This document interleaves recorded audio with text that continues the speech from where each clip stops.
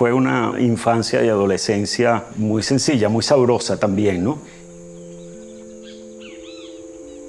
Éramos una familia grande. En algún momento yo conté, éramos 56 primos hermanos.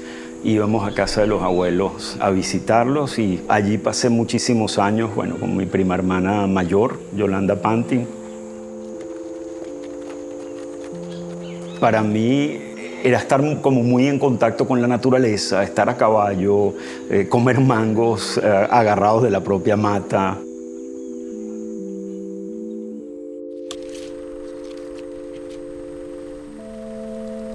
Yo diría de mucha inocencia, ¿no? De no pensar que habría eventualmente una situación de, de una serie de problemas sociales tremendos, ¿no?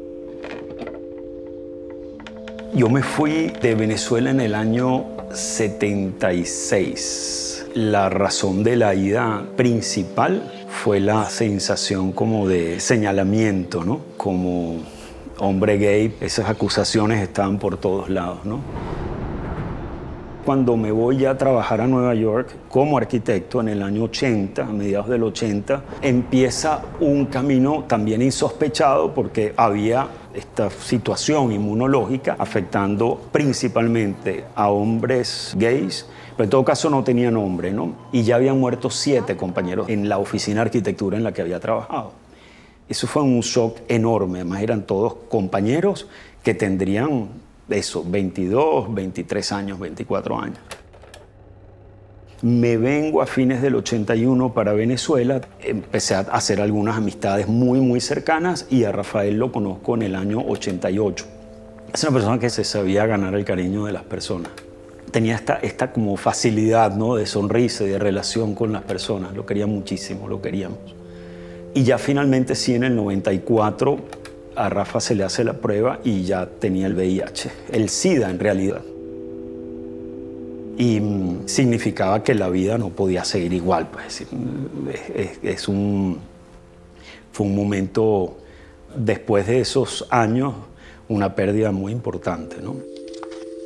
Yo tengo un poema dedicado a la muerte de Rafael. Este poema se llama Como un incendio de paredes altas.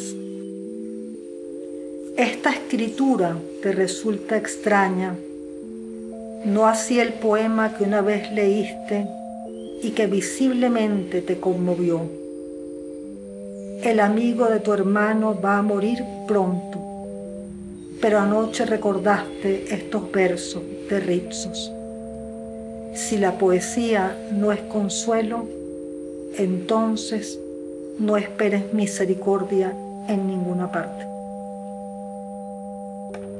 Ya sabiendo que estamos en los últimos días, hablo con unos amigos y les digo, la vida no puede ser igual. Hay que hacer algo ya.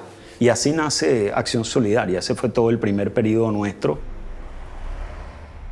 Acción Solidaria nace en ese contexto de silencio, de estigmatización, de discriminación, de una lentitud para facilitar como un derecho el acceso al tratamiento antirretroviral que ya estaba comprobado para ese momento que se salvaba la vida en alianza con unas religiosas del Hospital Mercy de Miami. Nos abrieron unas puertas para hacer un canal que nos permitiera traer al país medicina antirretroviral con récipes de médicos de Venezuela y bueno, nos hace a nosotros entrar en el terreno de la acción humanitaria. Estamos en 30 hospitales públicos con insumos, que son unas 40.000 unidades al mes de distribución de insumos. Y estamos igualmente con nuestro programa del ámbito del VIH, como, digamos, en 14 estados del país. Y seguimos documentando las situaciones de violación del derecho a la salud. La recomendación era el cierre. ¿Cuál era el, análisis que se hacía? No se justifica tener una maternidad con todo lo que significa para que nazcan mil niños al año. Este es el área de terapia intensiva neonatal.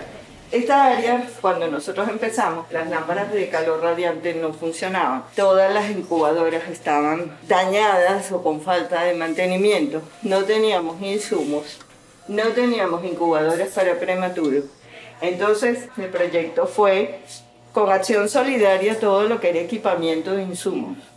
El primer año recibimos una tonelada de insumos. donde se dotó la terapia intensiva prácticamente de todo.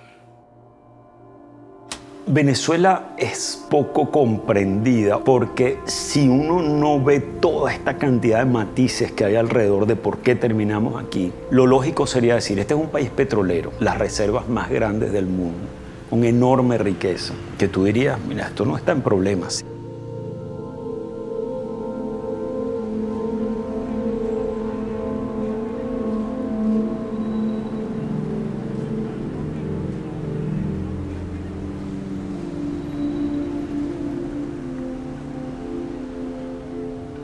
Ya según la plataforma de seguimiento a la situación migratoria del país, habla de 7 millones de personas que han migrado y además más de 700 mil personas dicen que se van a ir del país. Hemos tenido corrupción en el mundo hospitalario y también la negativa del gobierno a aceptar que aquí ha habido una situación muy grave más del 50% del personal de salud en salud pública se ha salido y en cuanto a personal de enfermería estamos hablando de más de 70%. O sea, ha sido una situación de nuevo de desestructurar todo el sistema sanitario y al final entendemos que no nos queda más remedio que meternos en la arena donde se, se da este conflicto político, ver con quiénes tener interlocución, cómo abogar porque se muevan recursos, porque se abran espacios de entendimiento, porque si no al final quien lo paga es la gente.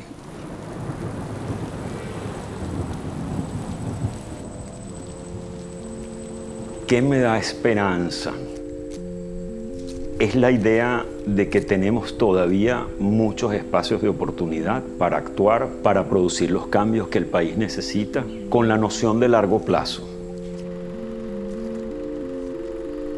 Nosotros tenemos cantidad de puertas todavía y tenemos que poder ser capaces de generar las respuestas que nos hacen falta como país. Uno no puede dejarse vencer por las circunstancias.